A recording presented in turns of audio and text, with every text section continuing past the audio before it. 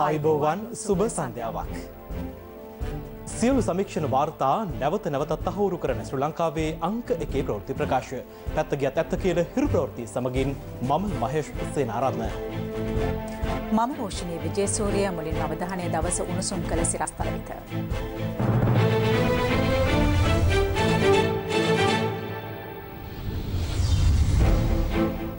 පාස්කු ප්‍රහාරය පිළිබඳ තමන්ට තොරතුරු නොදීම ප්‍රහෙලිකාවක්. ස්ටීව් ප්‍රධානයා තේරීම්කාරක සභාව හමුවේ කියයි. රාජ්‍ය බුද්ධිසේවා ප්‍රධානයාගනුත් රහසිගත ප්‍රකාශයක්. වඳසත්කම් චෝදන ඇල්ල වූ වෛද්‍ය සාෆිගෙන් ඇප ඉල්ලීමක්. සියිඩිය විරුද්ධ නොවෙයි. සහරන්ගේ නුවරලිය පුහුණු කඳවරු ගැන පොලිසිට තොරතුරු දුන් පුද්ගලෙකුගෙන් හෙළිදරව්වක්. පොලිසිය සුදු පාට වන්වන් කාර්යකාම සාරාංශ කරන අතට දීලා ගිහින් තියෙනවා. සිද්ධ වුණාට පස්සේ නැත්තම් කල් අපි ගණන් ගත්තේ නැහැ. මේ මේ මේ මේ කියලා කිව්වා. රාජපක්ෂ කෞතුකාගාරය පිළිබඳ ගෝටාබේට එරෙහි මහාධිකරණ අඩුව ශ්‍රේෂ්ඨාධිකරණය දෙමසකට අත්තිටුවයි. මහනුවර දැරියක් පැහැරගැනීමේ උත්සාහයක් වරදී. සැකකරුවත්ත දංගුවට. ප්‍රයිසස් වෙතේ. පාස්කු ප්‍රහාරය මෙහෙව් බව කියන සහරන් හශි මැතුළු පිරිසක් දෙදහස් දහට වසරේ නෝරලි ප්‍රදේශයේ ආයුධ සන්නද්ධව රැඳී සිටියදී ඒ පිළිබඳ තොරතුරු ලබා දුන්නත් පොලිසිය ඊට නිසි ක්‍රියාමාර්ගයක් නොගත් බවට එම ප්‍රදේශ පුද්ගලයෙකු චෝදනා කරනවා. හිරු ප්‍රවෘත්ති සමග විශේෂ හෙළිදරුවක් සිදු කරමින් ඔහු සඳහන් කළේ ඊට නිසි ක්‍රියාමාර්ග නොගැනීම පිළිබඳ පාස්කු ප්‍රහාරයෙන් පසුව අදාළ පොලිස් නිලධාරීන් කනගාටුව පළ කර බවයි. දෙදහස් දහට වසරේදී සහරන් හශීම ඇතුළු පිරිසක් අවස්ථා දෙකකදී ආයුධ සන්නද්ධව කුලේ පදනම මත රැඳී සිට ඇත්තේ නුවරඑලිය ශාන්තිපුර ප්‍රදේශයේ මෙම නිවසේයි. එය නිමාඩු නිකේතනයක් ලෙස පවත්වාගෙන යන ස්ථානයක් බවද පැවසෙනවා. එහි ඇති වූ සිද්ධිය පිළිබඳ අදාළ පුද්ගලයා මෙලෙස විස්තර කළා. ගිය අවුරුද්දේ අප්‍රේල් මාසයේ ඩොල්ෆින් වෑන් හතරක් ආවා. ඒ වෑන් හතර කට්ටියකින් එකම එක පුජ්‍යලෙක් විතරයි ඒ වෑන් එක එහාට මෙහාට යන්නේ බඩමුට්ටු ගේන්න ඔක්කොම කරන්නේ. කළා මෙයාලා දවස් පහක් හිටියා. කළා ගියා. ඊට පස්සේ මැයි මාසේ ඇවිල්ලා ආයි දවස් තුනක් ඉන්නවා මේ හැන්දෑවට මේකේ පෙට්ටි වගේ පටවනවා යනවා. පස්සේ මම ටිකක් සෝදිසි කරා. බලනකොට කාඩ්බෝඩ් පෙට්ටි වගේ පටවනවා මේ මේ මේ සයිස් දිග. ඒ බලලා මට හිතුණා මම මේ කුඩු කාර්යයක් දන්නේ නැහැ කියලා. මම නිකන් ගියා ඔය ගෙයයිනේ. යනකොට දෙබලෙන් කියන මෙහෙ කතා කරන දෙබල නෙමෙයි. සාමාන්‍ය යාපනයේ පැත්ත භාෂාව වගේ තමයි දෙබල කතා කරන්නේ. නාල කියන පණම් දෙල්ලම් කතා කුඩු කොණ්ඩු පොන්න කඳු කොණ්ඩු ඉංග්‍රීසි වැටේ වෙලා කියන්නේ කියලා කිව්වා. මට නිකන් සැකයක් කොටිද කියලා. ආවද කිව්වනේ. පණම් ගන්න සල්ලිනේ. පස්සේ බලන්න මට ඔක සැකයක් ඉදලා මම පොලිසියට ගත්ත කෝල් එකක්. ආන්සර් කරන්නෙම නැහැ. මන් මන් යන්න ගිහුවා ආන්සර් කරන්නෙත් නැහැ. පස්සේ අපේ සිවිල් ආරක්ෂක සුනිල් සහජන් මාතරත් එයා ආන්සර් කරන්නෙත් නැහැ. පස්සේ එල්ලා මම උදේ පාන්දර 6:35 විතර පොලිස් පත්තු මට ගත්තා. පුජ්‍ය ජාසුන්දර මහත්තයා. ගත්ත කරම ආන්සර් කරා. ආන්සර් කරාම මට දුන්න මෙහි නියෝජ්‍ය පොලිස් අධිකාරි මහින්ද දිසානායකගේ නම්බරේ. කතා කරා මේ මහත්තයාට ටක් ගාලා ආන්සර් කරා. පස්සේ කිව්වා ඔයාට අපේ එක්කන මහත්තයා තාට එකකින් කතා කරයි. එයා ගෙදරම ඉන්න කියලා. එක්කන මහත්තයා ආව පාරක්. මං කොයි ආවල්තට ගියේ තියෙන කියලා. හරි අපි දැන් එනවා කිව්වා. 12 මාරණකන් නැහැ. මං ආයෙ ගත්ත පොලිසියට කොල්ලයක්. ගත්තාම කිව්වා අපි මේ විමර්ශනයක් කළා තමයි එන්නේ කිව්වා. ඊට පස්සේ කොහමද ඇඳලා පාට විතර වැස්ස. පොලිසිය සුදු පාට වන්වන් කාර්යකාම. එක්කෙනයි. ඇතුළට ගියා. එයා මෙහාට යනවා රෑන් තුනක් ගියා. කැමෑන්න ගෑ තිබ්බේ. කොහමද විනාඩි 10ක් අත්තිටේ නෑ. එයා ගියා. ඊට පස්සේ කොහමද දැන් මේ සිද්ධිය වුණානේ. සිද්ධිය වුණාට පස්සේ ඒ පුජ්‍යලම සීවිල් එක තවත් යුනිෆෝම් දාපු නිලධාරි තුන්දෙනෙකුත් එක්ක ආවා. ඇවිල්ලා මට කතා කරලා ඉල්ලා පස්සේ යාමකෝ මේ මෙතන ලක්ෂ 10ක් තිබ්බ කියලා. එීම ඒකේ ඇතුලේ. මුන් ඔක්කොම දේවල් ගන්නවා දාලා පැතුරෙල්ල තමයි හිටියේ. ඒ පොලිසිය කෙනා කිව්වා. ඔව් කඩුව සමහතෙක් කෙනෙක්. පස්සේ පරෙල්ල මම ඒකට සරල ඇක්ෂන් එකක් ගත්තේ නැත්තේ කියලා. අපි එකේ විමර්ශනයක්. ඇක්ෂන් එකක් ගන්නවා නම් විමර්ශනයක් කරනවා නම් අර කට්ටිය අත්අඩංගුවට ගන්න එපායි. ලක්ෂ 10ක් පොළොව විසි කරන්න මිනිස්සු පිස්සු නෙවෙයිනේ ලෝකේ. අපි රුපියලක් කරනවා 10 පරක් බලන්න කොතනද වැටෙන්නේ කියලා. ඒකට මම කෝ සර් සර්ලා දා උනන්දුලා තිබ්බනා. එතන මොකක් කර හොයාගන්න තිබ්බනේ. නැත්තම් කල් අපි ගණන් ගත්තේ නැහැ. මේ මේ මේ මේ කියලා කිව්වා. අත්පැක්ෂන් කරලා ගියාට පස්සේ ඉස්සර CI දෙකෙන් ආව හයිදරි. ඒ කට්ටියට ඔක්කොම මිස්ටර් එකෝ ඒ මිස්ටර් කියලා මේ ෆොටෝ මං කොහොම යාතාව මේ හිටියේ කියලා. අරක ටීවී එකේ ධම්මන පස් දෙනා. ඔව්. මැද හිටියේ එක්ක තමයි මෙහි හිටියේ. ක්‍රවුඩ් හැඩලා තියෙන මහත් මුහුණ පේන එක්කෙනා. ඔව් මෙහි හිටියේ. පස්සේ පාරේ එක ගියාට පස්සේ කොළඹින් ආවා. පස්සේ එකෙක් ගෙන ආවා. කියලා උගෙන් අහුවා විස්තර. ඌ ඔක්කොම කිව්වා දහරංග හිටියේ මෙතන, කෑවි මෙතන, දහරංග තාත්තා හිටියේ මෙතන, මල්ලි හිටියේ මෙතන 24 දෙනෙක් ඉඳලා තියෙනවා. රත්තරන්වත් ඉඳලා තියෙනවා. ඒකට සල්ලි තිබ්බේ මෙතන එක පාසලයක්. මෙතන තිබ්බ කිව්වා ටීපනස්සයි දෙක. පොලිසියෙන් එක්කවත් දැක්කේ නැද්ද? ලක්ෂ 10 දැක්කා. ඊට වැඩි උසන්න ටීපනස්සයි දෙක තිබ්බා. ඒක බැලුවේ මේ ගේ ඇතුලේ තිබ්බ බුදු පිළිමේ කුඩු කොල්ලා. එතකොට තේරුම් ගන්න අපි පොලිසිය පොඩ්ඩක් කියලා අපි බුදු පිළිමේ ගැඩුවයි. ඒකල්ල අපේ පොලිසාට අත දීලා ගියා කියලා. සාරාංශ කරන අතට දීලා ගිහින් තියෙනවා. පාස්කු ප්‍රහාරයට පෙර ඒ පිළිබඳ වැදගත් බුද්ධි තොරතුරු පිළිබඳ පොලිස් විශේෂකාරී බලකාය දැනුවත් නොකිරීම ප්‍රහෙලිකාවක් බව එහි අනතින නිලධාරී ජ්‍යෙෂ්ඨ නියෝජ්‍ය පොලිස්පති එම්.ආර්. ලතීෆ් මහතා අද පාර්ලිමේන්තු විශේෂ තේරීම්කාරක සභාව හමුවේ සාක්ෂි දෙමින් සඳහන් කළා. මේ අතර එම කාරක සභාවේ සභාපති නියෝජ්‍ය කතානායක ආනන්ද කුමාරසිරි මහතා එහිදී අදහස් දක්වමින් සඳහන් කළේ රාජ්‍ය බුද්ධි සේවාවේ ප්‍රධානී ජ්‍යෙෂ්ඨ නියෝජ්‍ය පොලිස්පති නිලන්ත ජයවර්ධන මහතා ඊයේ රාත්‍රියේ පාර්ලිමේන්තු තේරීම්කාරක සභාව හමුවට කැඳවා රහසිගතව සාක්ෂි විමසීම සිදු කළ බවයි. රාජ්‍ය බුද්ධ සේවා ප්‍රධානයාගෙන් රහසිගත ලෙස සාක්ෂි විමසීම සඳහා තේරීම්කාරක සභාවේ නියෝජිතයන් පාර්ලිමේන්තුවෙන් පිටත ස්ථානයක් තෝරාගෙන තිබුණා. ඒ අනුව එම සාක්ෂි විමසීම සිදු කර ඇත්තේ පාර්ලිමේන්තුවට අයත් කාරක සභා රැස්වීම පැවැත්වීම සඳහා යොදා ගන්නා පැරණි කෘෂිකර්ම අමාත්‍යාංශ පරිශ්‍රයේ අලුතින් ඉදිකරන ලද ශාලාවකදී. ඊයේ දවසේ අපි කැඳෙව්වා නිලත්න ජයවර්ධන මහත්මයා senior deputy inspector general chief of state Indian service. ඒ රැස්වීම පැවැත්වුවේ විශේෂයෙන් එතුමා මාධ්‍යයට නිරාවරණය කළා අපි මේක කරන්න අවශ්‍යතාවයක් තිබුණේ නැහැ. ඒ නිසා අපි වෙනත් ස්ථානයකදී එතුමාගෙන් සාක්ෂි විමසුවා. රාත්‍රී 8 ඉඳන් පෙරවරු 1 වෙනකම් සාක්ෂි විමසුවා.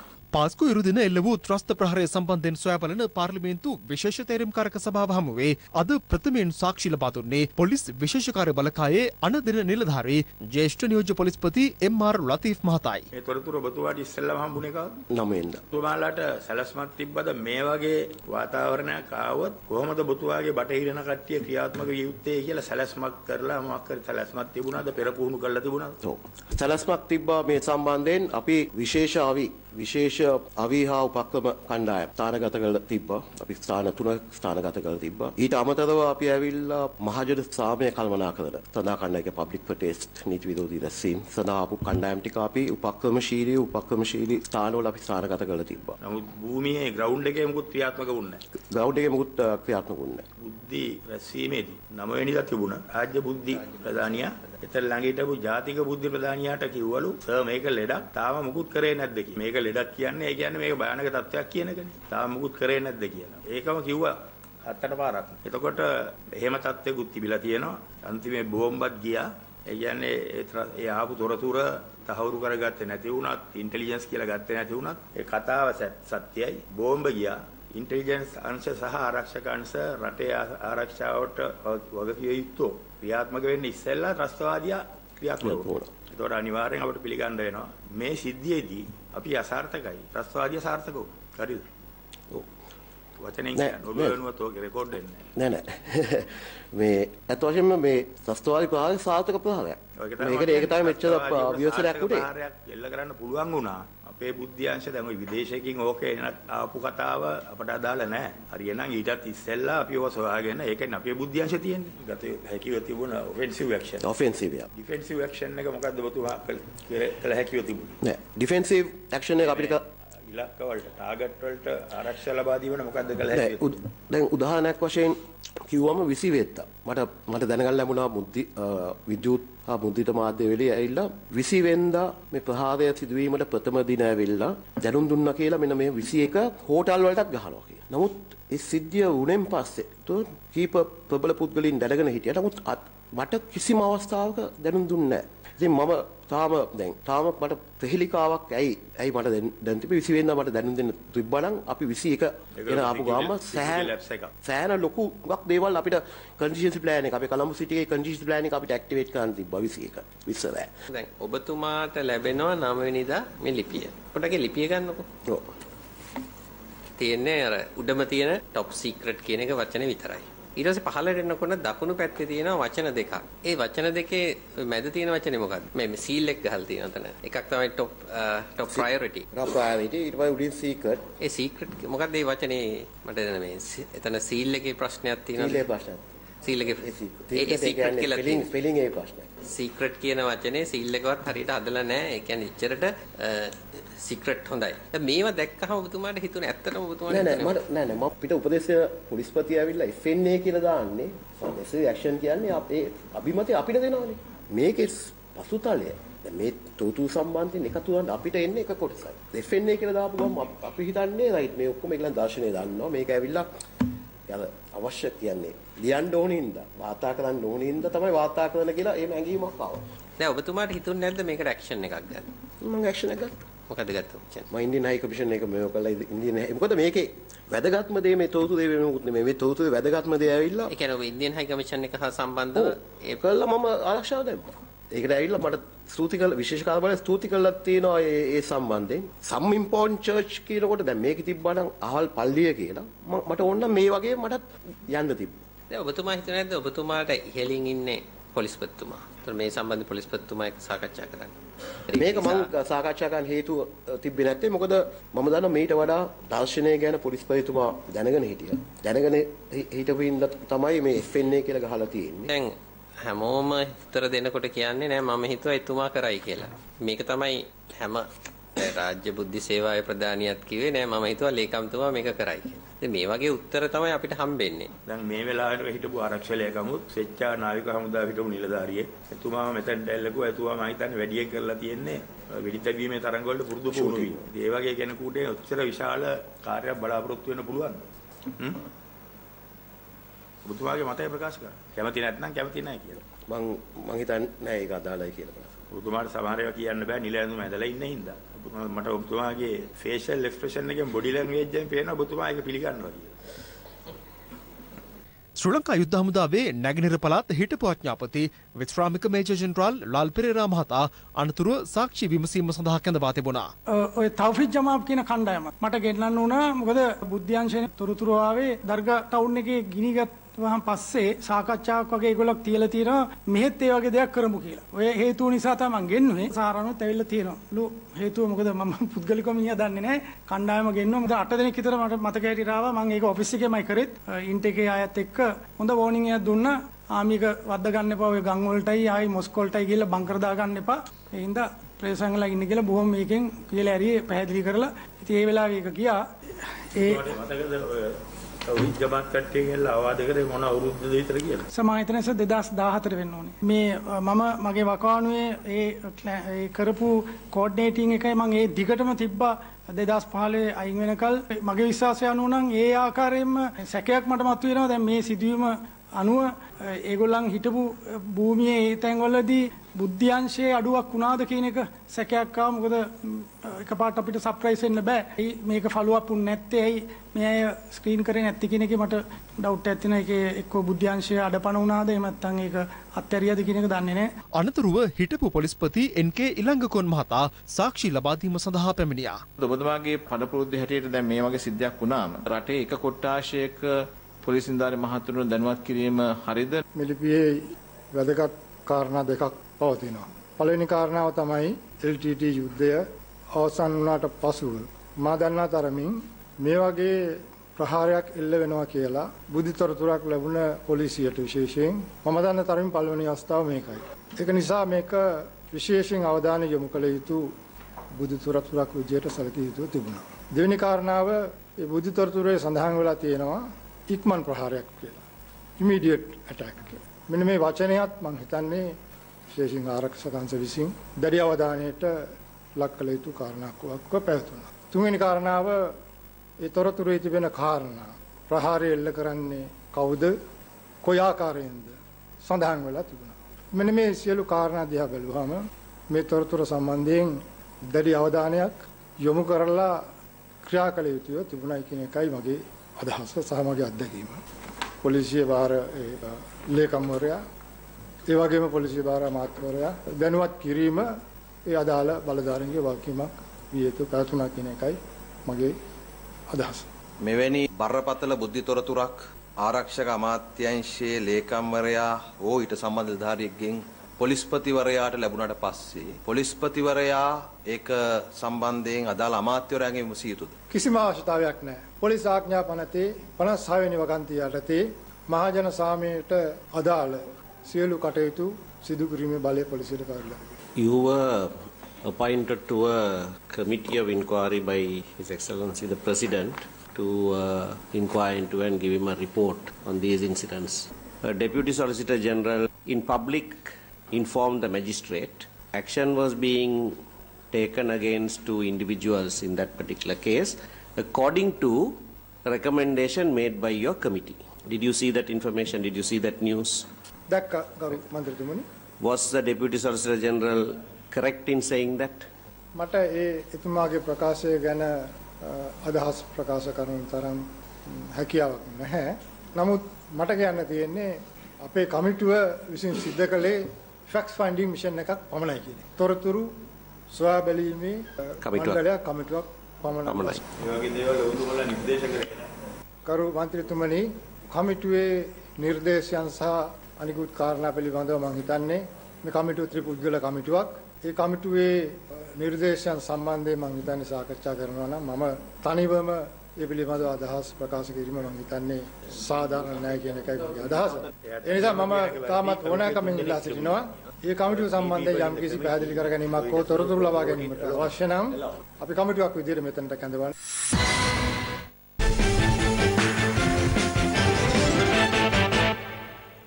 මෙන්න දැල්ලැබුණු විශේෂ ප්‍රවෘත්තියක්.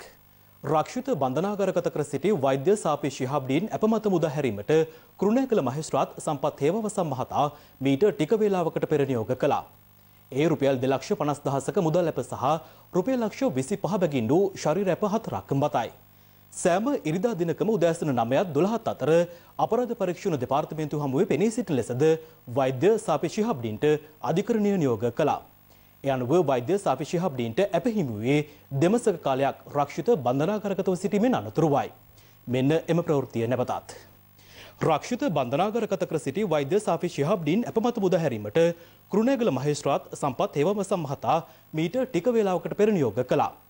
ඒ රුපියල් දෙලක්ෂ පනස් දහසක මුදල් ඇප සහ රුපියල් ලක්ෂ විසි පහ බැගින් වූ ශරීර ඇප හතරක් මතයි. සෑම ඉරිදා දිනකම උදෑසන නමයත් දොළහත් අතර අපරාධ පරීක්ෂණ දෙපාර්තමේන්තුව හමුවේ පෙනී සිටින ලෙසද වෛද්‍ය සාපේක්ෂ හබ්ඩීන්ට අධිකරණය නියෝග කළා. ඒ අනුව වෛද්‍ය සාපේක්ෂ හබ්ඩීන්ට ඇපහිමිවේ දෙමසක කාලයක් රක්ෂිත බන්ධනාගාරගතව සිටීමෙන් අනතුරුවයි. දවසේ පුවත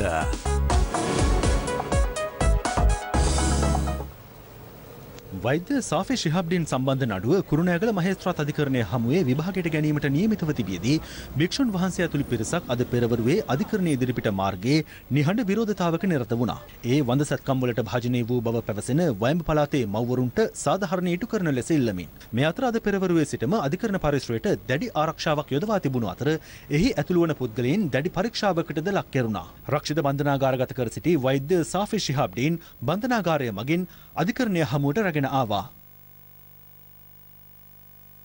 පසුර එකයි තිහට පමණ නඩුව කැඳවනු ලැබුවේ කුරුණෑගල ප්‍රධාන මහේස්ත්‍රාත් සම්පත් හේවාවසම් මහතා ඉදිරියේ. අගතයට පත් මවරුන් වෙනුවෙන් නීතිඥවරු විශාල පිරිසක් අද අධිකරණය හමුවේ පෙනී සිටි අතර තමන්ටද මෙම නඩුවට මැදිහත් වීමට අවශ්‍ය බව ඔවුන් කියා සිටියා. ඊට විත්තිකාර පාර්ශ්වය පළ කළේ දැඩි විරෝධයක්. දීර්ඝ විවාදයකින් අනතුරුව මහේස්ත්‍රාත්වරයා අපරාධ පරීක්ෂණ දෙපාර්තමේන්තුවේ අනුමැතියට යටත්ව නඩුවට මැදිහත් වීමට අගතියට පත් පාර්ශ්වයට අවසර ලබා දුන්නා. මේ දක්වා සිදු කර ඇති විමර්ශනවල ප්‍රගතිය ඇතුළත් පිටු 38ක බී වාර්තාවක් අපරාධ පරීක්ෂණ දෙපාර්තමේන්තුව අද අධිකරණයට ඉදිරිපත් කළා. එහිදී අපරාධ පරීක්ෂණ දෙපාර්තමේන්තුව වෙනුවෙන් පෙනී සිටි නියෝජ්‍ය සොලිසිටර් ජෙනරාල්වරයා අධිකරණයට දැනුම් දුන්නේ වඳභාවයට ලක් කෙරුණු බවට ඉදිරිපත් වූ පැමිණිලි 615 අතුරින් 147ක විමර්ශන අවසන් බවයි. නමුත් වෛද්‍යවරයාට චෝදනා ගොනු කර තිබෙන දණ්ඩ නීති සංග්‍රහයේ 311 වන වගන්තිය යටතට ගැනෙන බරපතල තුවාල සිදු කිරීමේ වරද තහවුරු වන කිසිදු කරුණක් එම විමර්ශනවලදී අනාවරණ වී නොමැති බව නියෝජ්‍ය සොලිසිටර් ජෙනරාල්වරයා අධිකරණයට දැනුම් දුන්නා. එමෙන්ම HSG පරීක්ෂණය සිදු කිරීමට ඇති බාධා හේතුවෙන් වැඩිදුර විමර්ශන මේ වන විට අඩාල වී ඇති බවද රජයේ පාර්ශවය අධිකරණය හමුවේ කියා සිටියා. ඒ අනුව කොළඹ ද සොයිසා කාන්තාරෝහල සහ කාසල් වීදියේ කාන්තාරෝහල මකින් පසුගිය වසර පහ තුළ සිදු කළ HSG පරීක්ෂණවල වාර්තා ලබා ගැනීම සඳහා වන නියෝගයක් අපරාධ පරීක්ෂණ දෙපාර්තමේන්තුව අධිකරණයෙන් ඉල්ලා සිටියා. එමෙන්ම මීට පෙර අවස්ථාවක රෝහල් අධ්‍යක්ෂවරයාගේ බාධා කිරීම හේතුවෙන් ප්‍රකාශ සටහන් කර ගැනීමට නොහැකි වූ කුරුණෑගල ශික්ෂණ රෝහලේ විශේෂඥ වෛද්‍යවරු තිදෙනෙකුගේ ප්‍රකාශ සටහන් කර ගැනීමටද අධිකරණයේ අවසරය බලාපොරොත්තු වන බවයි නියෝජ්‍ය සොලිසිටර් ජෙනරාල්වරයා අධිකරණයට දැනුම් දුන්නේ. එම ඉල්ලීම් දෙක සඳහාම කුරුණෑගල ප්‍රධාන මහේස්ත්‍රාත්වරයාගේ අනුමැතිය හිමි වුණා. මෙහිදී වැඩිදුරටත් කරුණු දක්වමින් නියෝජ්‍ය සොලිසිටර් ජෙනරාල්වරයා අධිකරණය හමුවේ කියා සිටියේ සැකකාර වෛද්‍යවරයා නීති විරෝධී ආකාරයෙන් වත්කම් උපයා ගැනීම සම්බන්ධයෙන්ද විමර්ශනයක් සිදු කරන බවයි. කෙසේ වෙතත් දැනට විමර්ශන සිදු කරන සමූහ මංකොල්ල විමර්ශන අංශයට මේ සම්බන්ධයෙන් විශේෂඥ දැනුමක් නොමැති බැවින් ඒ සම්බන්ධ විමර්ශන පොලිස් මූල්‍ය අපරාධ විමර්ශන කොට්ටාසයට යොමු කරන බව ඔහු අධිකරණයට දැනුම් දුන්නා. එම විමර්ශනවලදී නීති විරෝධී ලෙස වත්කම් උපයාගෙන ඇති බව සනාත වන්නේ නම් වෛද්‍ය සාෆි ශිහබ්ඩීන්ට එරෙහිව මුදල් විශුද්ධීකරණ පනත යටතේ වෙනත් නඩුවක් ගොනු කිරීමට අපේක්ෂා කරන බවද නියෝජ්‍ය සොලිසිටර් ජෙනරාල්වරයා විවෘත අධිකරණය හමුවේ සඳහන් කළා. නියෝජ්‍ය සොලිසිටර් ජෙනරාල්වරයා වැඩිදුරටත් සඳහන් කළේ දැනට සිදු කරන කිසිදු විමර්ශනයකදී වෛද්‍ය සාෆි ශිහබ්ඩීන් වරදක් සිදු කර ඇති බවට මෙතෙක් ප්‍රමාණවත් සාක්ෂි ලැබී නොමැති බවයි. පවතින තත්ත්වය තුළ රක්ෂිත බන්ධනාගාරගත කර සිටින සැකකාර වෛද්‍ය සාෆි ශිහබ්ඩීන්ට ඇප ලබාදීමට තමන් විරුද්ධ නොවන බව අපරාධ පරීක්ෂණ දෙපාර්තමේන්තුව වෙනුවෙන් පෙනී සිටි නියෝජ්‍ය සොලිසිටර් ජෙනරාල්වරයා අධිකරණයට දැනුම් දුන්නා. ඉන් අනතුරුව විත්තිය වෙනුවෙන් කරුණු ඉදිරිපත් කළ ජනාධිපති නීතිඥ නවරත්න බණ්ඩාර මහතා අධිකරණය හමුවේ කියා සිටියේ දින වෙනස් කරන ලද පැමිණිලි මත පදනම්ව තම සේවාදායකයා අත්අඩංගුවට ගෙන ඇති බවයි. එමෙන්ම තම සේවාදායකයාට එරෙහිව දැනට චෝදනා ගොනු කර ඇති බරපතල තුවාල සිදු කිරීමේ වරත යටතේ සැකකරුවෙක් රක්ෂිත බන්ධනාගාරගත කර තැබිය හැක්කේ දින 14ක් වුවත් එම කාලය ඉක්මවා තම සේවාදායකයා රක්ෂිත බන්ධනාගාරගතව සිටින බවද ජනාධිපති නීතිඥවරයා අධිකරණය හමුවේ පෙන්වා දුන්නා. එහිදී විත්තිකාර පාර්ශවය වැඩිදුරටත් කරුණු කරුණු දක්වමින් කියා සිටියේ වරදක් සිදු කර ඇත්නම් තම සේවාදායකයාට හුදකලාව මෙම වරද සිදු කළ නොහැකි බවයි. එම අවස්ථාවේ එහි සිටි සෙසු වෛද්‍යවරුන්ට හා හෙද කාර්ය මණ්ඩලයට වරදට ආධාරණු බලදීමේ චෝදනා නැගී යුතු වුවද එය එසේ සිදුව නොමැත්තේ ඇයිද යන්න ගැටලු සහගත බව ජනාධිපති නීතිඥ නවරත්න බණ්ඩාර මහතා අධිකරණය හමුවේ කියා සිටියා. ඒ අනුව විත්තිකාර පාර්ශවයේ නීතිඥයින් අධිකරණයෙන් ඉල්ලා සිටියේ තම සේවාදායකයා ඕනෑම කොන්දේසියක් යටතේ අප මත මුදාහරණ ලෙසයි. ඉන් අනතුරුව අගතයට පත් මව්වරුන් වෙනුවෙන් පෙනී සිටි නීතිඥයින් කරුණු දක්වමින් අධිකරණයට පෙන්වා දුන්නේ කුරුණෑගල ශික්ෂණ රෝහලේ සෙසු වෛද්‍යවරු සියලු දෙනා මසක් තුළ සාමාන්‍යයෙන් සිසේරියන් සත්කම් දහ නවයක් පමණ සිදු කරද්දී වෛද්‍ය සාෆි ශිහබ්ඩීන් තනිව සත්කම් හතලිහක් සිදු කර තිබීම අසාමාන්‍ය තත්ත්වයක් බවයි. එමෙන්ම පැමිණිලි සිදු කර ඇති සියලු මව්වරුන් සිංහල ජාතිකයන් පමණක් වන බැවින් වෛද්‍යවරයාට හුදෙක් දණ්ඩ නීති සංග්‍රහ යටතේ චෝදනා ගොනු කළ හැකි බවත් ඔහුට විරුද්ධව ත්‍රස්තවාදය වැළැක්වීමේ පනත යටතේ චෝදනා ගොනු කළ යුතු බව අගතියට පත් පාර්ශවය පෙන්වා දුන්නා. පැමිණිලිකාර මව්වරු රෝහලට ලබා දුන් ප්‍රකාශ සහ අපරාධ පරීක්ෂණ දෙපාර්තමේන්තුවට ලබා දුන් ප්‍රකාශ අතර බරපතල පරස්පරතා දැකිය හැකි බව පෙන්වා දුන් අගතිටපත් පාර්ශවය අපරාධ පරීක්ෂණ දෙපාර්තමේන්තුවේ විමර්ශන සම්බන්ධයෙන් සැකමතුවන බව තර්ක කළා. ඒ අනුව මව්වරුන්ට බලපෑම් කර අපරාධ පරීක්ෂණ දෙපාර්තමේන්තුව ප්‍රකාශ සටහන් කරගෙන ඇති බවට සාධාරණ සැකයක් ඇතිවන්නේ යැයි අගතිටපත් පාර්ශවයේ නීතිඥයින් අධිකරණයට පෙන්වා දුන්නා. එමෙන්ම අපරාධ පරීක්ෂණ දෙපාර්තමේන්තුව පවසන ආකාරයේ විද්‍යාත්මක පරීක්ෂණයකට පමණක් මෙම සිද්ධිය ලගු නොකරන්නයි අගතියටපත් පාර්ශවය ඉල්ලා සිටියා. සිසේරියන් සත්කම්වලට භාජනය වූ මුස්ලිම් මව්වරුන්ගෙන් ලබා ගන්නා ප්‍රකාශ මත සිංහල ජාතිය වඳ කිරීමේ උත්සාහයක් තිබූ බවට කරුණු අනාවරණ කරගත හැකි බව ඔවුන් අධිකරණය හමුවේ සඳහන් කළා. මේ අතර රජයේ බැංකුවක වෛද්‍ය සාෆී ශිහාබ්ඩින් පවත්වාගෙන යන ගිණුමක වාර්තා අධිකරණයට ඉදිරිපත් කළ අගතියටපත් පාර්ශවයේ නීතිඥයින් පෙන්වා දුන්නේ පසුගේ මේ මස විසි හතර වනදා වන විට එහි ශේෂය රුපියල් හතලිස් හතර කෝටි විසි ලක්ෂ පන්සිය හැටාටයි සත එකොළහක් බවයි. විත්තිකාර වෛද්‍යවරයා තවත් රජයේ සහ පෞද්ගලික බැංකු රැසක ගිනුම් පවත්වාගෙන යන බවත් අගතයට පත් පාර්ශවය අධිකරණයට දැනුම් දුන්නා. ඒවායේද විශාල මුදල් තිබිය හැකි බැවින් මේ සම්බන්ධයෙන් පූර්ණ විමර්ශනයක් සිදු කරන තෙක් සැකකරුට ඇප ලබා නොදෙන ලෙස අගතයට පත් පාර්ශවය අධිකරණයෙන් ඉල්ලීමක් කළා. එසේම සහරන් සමග සමීප සබඳතා පැවැත් වූ බව කියන ලාෆීර් නැමැත්තෙක් සමග වෛද්‍ය සාෆී ශිහබ්ඩින් සබඳතා පැවැත් වූ බවට කරුණු ඉදිරිපත් කළ අගතයට පත් පාර්ශවයේ නීතිඥයින් ඒ සම්බන්ධ දර්ශන ඇතුළත් සංයුක්ත තැටියක්ද අධිකරණයට ලබා දුන්නා. මැතිවරණයට ඉදිරිපත්වීම සඳහා සේවයෙන් ඉවත් වූ පසු නැවත ඔහු සේවයේ පිහිටුවීම සඳහා අමාත්‍ය රාජිත සේනාරත්න මහතා කැබිනට් පත්‍රිකාවක් ඉදිරිපත් කර ඇති බව පෙන්වා දුන් අගතියට පත් පාර්ශවයේ නීතිඥයින් පෙන්වා දුන්නේ ඔහුට පැහැදිලි සිවිල් හා දේශපාලන බලයක් ඇති බවයි. එවන් තත්ත්වයක් තුළ සැකකරුට ඇප ලබා දීමෙන් අගතියට පත් පාර්ශවයේ මව්වරුන්ට විවිධ බලපෑම් එල්ල විය හැකි බවද නීතිඥයින් අධිකරණය හමුවේ පෙන්වා දුන්නා. නීතිපති දෙපාර්තමේන්තුවෙන් පෙනී සිටපු සොලිසිටර් ජෙනරල්වරයා ඉල්ලීමක් කළා රටේ ජනමාධ්‍ය වලින් මේ ශාපි සාබ්දීන් වෛද්‍යවරයාගේ මේ කටයුතු පිළිබඳව උසාවි ඉස්සරහා විභාග වෙන කරුණු වාර්තා කරන්න එපයි කියලා. වාසනාවකට ගරු අධිකරණයේ ඒස්ලා අවසර ලබා දුන්නේ කනගාටුවට වගේ නීතිපති දෙපාර්තමේන්තුව වෙනුවෙන් පැමිණි නියෝජ්‍ය සොලිසිටර් ජෙනරාල් වරයා අපදීමට එකඟතාවය පළ කරනවා. ඒ වගේම ප්‍රථම වතාවට විත්තියේ නීතිඥවරයා අපරාධ පරීක්ෂණ දෙපාර්තමේන්තුවේ නීතිපති දෙපාර්තමේන්තුවේ නම් කියලා ස්තුතිවන්ත කරනවා මෙවැනි සේවා කටයුත්ත සිදු කිරීම පිළිබඳව. නිසා මේ රටේ ජනතාවට බරපතල සැකයක් මේ පරීක්ෂණ පිළිබඳව තියෙන බව අපිට දවසින් දවස පැහැදිලි වෙනවා. දවසේ පුවත ඇනේෂයා බැංකුවේ ඉතුරු කර අභිමානය සපිරි තිලිනයක් ඔබත් ලබාගන්න. ස්වදේශයේ මුල් බැසගත් ස්වදේශයේ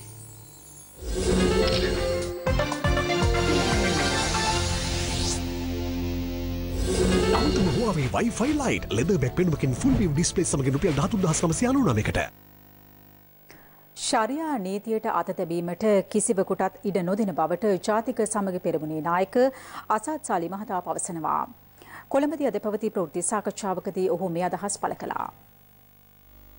වෛද්‍ය ශාෆි මැතිතුමාගේ වැඩපිළිවෙලේදී CID එකෙන් ගිහිලා වාර්තා කරන උසාවියට මෙතනදී කිසිම වරදක් සිදු වෙලත් නැහැ. කුරුණෑගල ඉස්පිතාලේ ඉන්න ඩිරෙක්ටර් තමයි මෙතන කෙලුම්කාරයා. මේ ඩිරෙක්ටර් රින්ගන්න බැලුවා මේ කොමිටියක ඇතුළට. බලනකොට දත් දොස්තරයා. ඇයි මෙච්චර කල් මෙයාව අතනට ගන්න නැතුව ඉන්නේ? අනිත් එක කෙනා කවුද? ඒ පළාතේ ඉන්න DIG. DIG ගේ නෝනත් ওই ඉස්පිතාලෙම ડોක්ටර් කෙනෙක්. මෙජස්තුමාගේ නෝනා හේ උසාවියේම වැඩ කරනවා. දැන් ෆෙලෝපියන් එක්ස්පර්ට්ලා වෙලා ඉනවා රතන හාමුදුරුවෝ. ෆෙලෝපියන් ආර කොහොමද මිරිකෙව්වේ කියලා එයා දන්නවා. ඒකේ PhD එක අරන් තියෙනවා විමල් වීරවංශ උන්නේ. ඒකේ මහා පඬිතයා තමයි උදේ ගම්මන් පිළ. මොකද්ද කරන්න ඕනේ කියන එක උසාවියෙන් තීන්දුව කරන්න ඉස්සර මේ සියලු දෙනාම තීන්දුව කරලා ඉවරයි. හෙන ගන්නවා කියන එකත් මම මේ අවස්ථාවේ ප්‍රකාශ කරන්න ඕනේ. උසාවියට ගිහිල්ලා පොලිසියට තර්ජනය කරනවා නම් ඇයි රතන හාමුදුරුවෝ අත්අඩංගුවට ගන්නේ නැත්තේ? එක්සත් ජාතික පක්ෂයේ නායකතුමාත් හිතන්න ඕනේ මේ සුළු ජාතින්ට පාර දාගෙන මේගොල්ලන්ගේ අරක කරන්න ඕනේ මේක කරන්න ඕනේ ශරියා යුනිවර්සිටි එක ගන්න ඕනේ මුස්ලිම් කාන්තාව විවාහ වෙන වයස කිය තීරණ ගන්න මේකද ආණ්ඩුවේ වැඩ? ඒක අපි බලා ගන්න. ශරියා කියන එක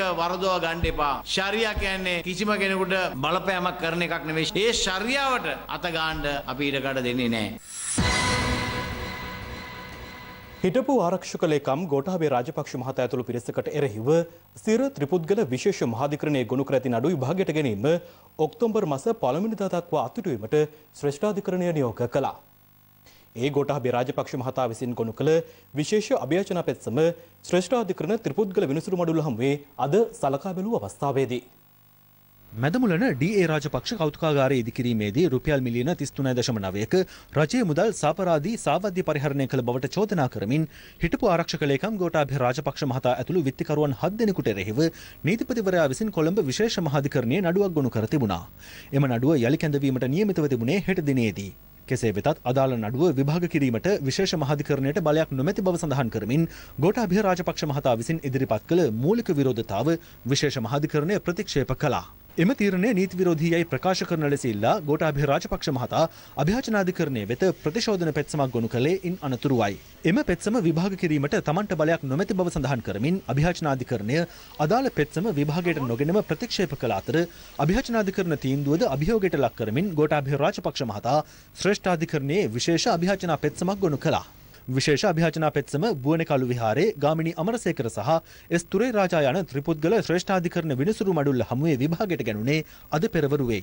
එහිදී හිටපු ආරක්ෂක ලේකම් ගෝඨාභය රාජපක්ෂ මහතා වෙනුවෙන් පෙනී සිටි ජනාධිපති නීතිඥ රොමේෂ්ද සිල්වා මහතා දැක්වූ කරුණු සලකා බැලූ ත්‍රිපුද්ගල ශ්‍රේෂ්ඨාධිකරණ විනිසුරු මඩුල්ල අදාළ පෙත්සම විභාග කිරීමට අවසර ලබා දුන්නා. ඔවුන් නියෝග කළේ එම පෙත්සම ඔක්තෝබර් මස පළමුවැනිදා විභාගයට ගැනීමටයි. ඒ අනුව නීතිපතිවරයා විසින් ගෝඨාභය රාජපක්ෂ මහතාට එරෙහිව කොළඹ විශේෂ මහාධිකරණය හමුවේ ගොනු කළ නඩුවේ සාක්ෂි විභාගය ඔක්තෝබර් මස පළමුවෙනිදා දක්වා අත්හිටුවන ලෙස දන්වා ශ්‍රේෂ්ඨාධිකරණය නියෝගයක් නිකුත් කළා. වෙනත් පක්ෂ සමග සන්ධානගත වී යම් කොන්දේසි අනුව කටයුතු කිරීමට එකඟ වුවද ජනාධිපතිතුර අපේක්ෂකයා ශ්‍රී ලංකා පොදුජන පෙරමුණෙන් ඉදිරිපත් කිරීම අනිවාර්යෙන්ම සිදුවිය යුතු බව පාර්ලිමේන්තු මන්ත්‍රී දිලුම් අමනුගම් මහතා පවසනවා. මේ අතර ශ්‍රී ලංකා නිදහස් පක්ෂ මහලේකම් තෑස් රිජාසේකර මහතා පවසන්නේ සන්ධානයක් සෑදීමකින් තොරව අපේක්ෂකයෙකු නම් කිරීමට තමන් දැඩි ලෙස විරෝධය පළ කරන බවයි. පොහොට්ටුවෙන් ගෝඨාභය රාජපක්ෂ මහතා ඉදිරිපත් කරනවා කියලා හුඟක් පිරිස් කියනවා. සම්මේලන තියලා පුද්ගලයන් නම් කරලා ඇවිල්ලා ඒ නම අරගෙන රටවට යන්න ගියොත් අපිට ඒක අවශ්‍ය ශක්තිය දෙන්න හැකියාවක් නැතුව යනවා. ඒ නිසා මම හිතන්නේ වඩා වැදගත් වෙන්නේ පුළුල් සන්දානයක් හදලා එහි අපේක්ෂකයා තෝරා ගැනීම පමණයි. අධිකා ජනාධිපතිතුමාට අපි බලය පැවරුවා ඒ සඳහා අවශ්‍ය කරන තීන්දුව ටික ගන්න. සන්දානයක් හදන්න නැතුව අපේක්ෂකයන් නම් කිරීමට අපේ දැඩි විරෝධයක් තිබෙනවා. ශ්‍රී ලංකා නිදහස් පක්ෂයේ ලේකම්තුමත් අපි දකිනවා නොයෙක් වෙලාවට නොයෙකුත් අදහස් එතුමා ඉදිරිපත් කරනවා. අපි දරන ස්ථාවරය තමයි දිනන්න පුළුවන් අස්පයා දුවන්න ඕන. දිනන්න පුළුවන් පක්ෂ දෙක හැටියට එකතු වෙන්න අපි එකඟයි. ඉන් එහාට ගිහිල්ලා යම් යම් කොන්දේසි අනුව රජයක් කරනවා නම් ඒ කොන්දේසි අනුව රජය කරන්න අපි එකඟයි. නමුත් අපේක්ෂකයා වෙන පක්ෂකින් ඉදිරිපත් කිරීමට අපි කිසිසේත් එකඟ නැහැ. හෙට දිනේ අනිකුත් සහෝදර පක්ෂත් සමග සන්දානගත වීමේ ගිවිසුම අත්සන් කරන්න අපි බලාපොරොත්තු වෙනවා. ඒක ඒ ගිවිසුමට තවමත් ශ්‍රී ලංකා නිදහස් පක්ෂය ඇතුළත් වෙලා නැහැ. සජිත් ප්‍රේමදාස මහත්තයා සහ ශ්‍රී ලංකා නිදහස් පක්ෂය අතරේ සාකච්ඡා තියෙනවා. ජයසිරි ජයසේකර මහත්තයා කියන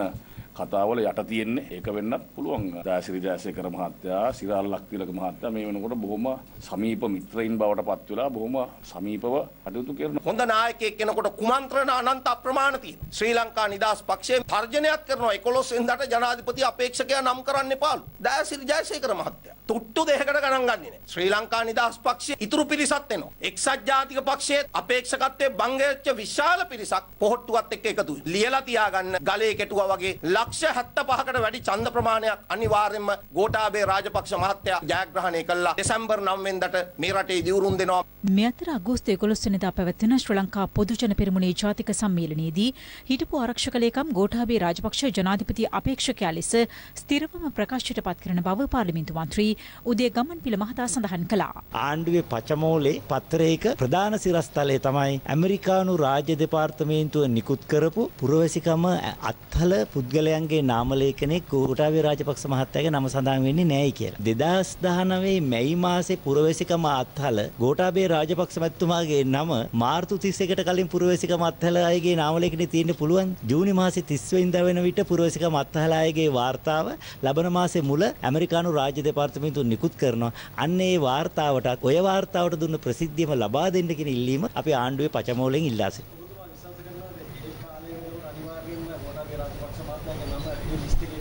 අනිවාර්යෙන් තියෙන්න ඕනේ මොකද එතුමාගේ පුරවැසිකම අත්හැලීමේ ලේඛන මම මගේ ඇස් දෙකෙන් දැක්කා. ඒ නිසා මට බය නැතුව කියන්න පුළුවන්. ඔහු එතුමාගේ පුරවැසිකම ඉවත් කිරීමේ ක්‍රියාවලිය 100ට 100ක් සම්පූර්ණයි. 100 සම්පූර්ණ වීමේ අවසාන දේ තියෙන්නේ රාජ්‍ය දෙපාර්තමේන්තුව අපට දැනුම් දෙනවා පුරවැසිකම අත්හැරීමේ සහතිකය නිකුත් කරලා. ඒතකොට තමයි ක්‍රියාවලිය සම්පූර්ණ වෙන්නේ. ඒ සහතිකය මැයි මාසේ ලැබුණා. දැන් එතුමා තවදුරටත් ඇමරිකානු පුරවැසියෙක් නෙවෙයි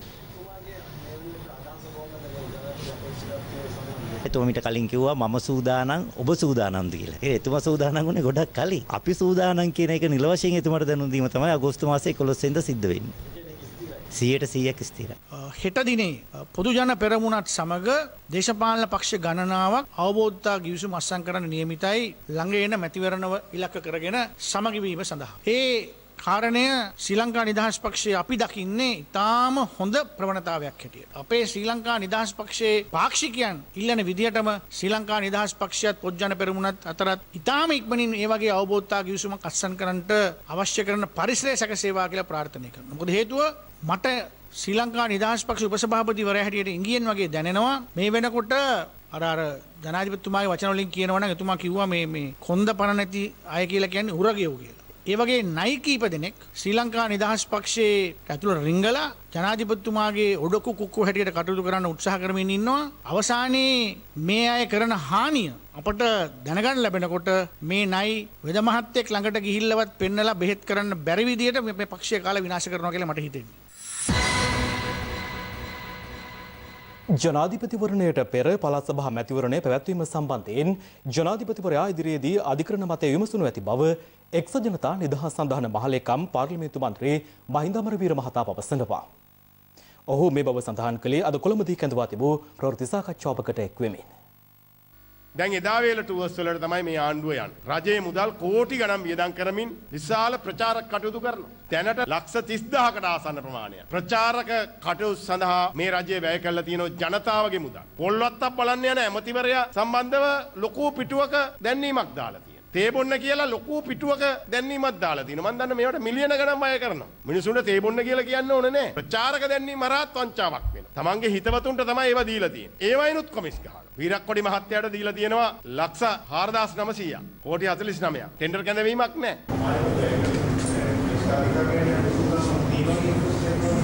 ජනාධිපතිතුමාට දැන් යන්න වෙයි. සාස කරන ජනාධිපතිතුමා ඉදිරි දිනවල ශ්‍රේෂ්ඨාධිකරණයේ මත විමසන්න කටයුතු කරයි. ඔය ඉතින් එහෙම ශ්‍රේෂ්ඨාධිකරණයේ දෙන තීන්දුව අනුව මැතිවරණයක් ඒමේ හැකියාව බොහෝ දුරට තියෙනවා.